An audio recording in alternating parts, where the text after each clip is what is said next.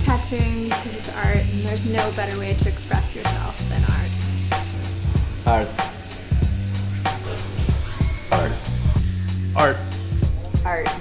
Art. Art. Art. Amo el arte.